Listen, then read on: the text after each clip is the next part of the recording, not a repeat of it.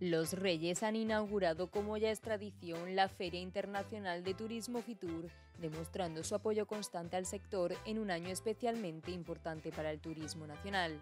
Y además de la cercanía y amabilidad de los Reyes durante todo su recorrido por los distintos pabellones, si por algo ha destacado la inauguración ha sido por el espectacular estreno de Doña Leticia, con el que ha protagonizado uno de sus looks más aplaudidos en el último año.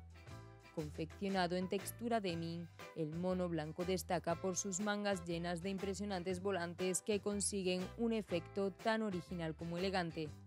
Una prenda diferente y sofisticada con la que la reina ha acaparado todas las miradas. Para completar su look de ensueño, su Majestad ha optado por complementos en color negro, un cinturón fino para marcar cintura, salones y una cartera de mano vintage.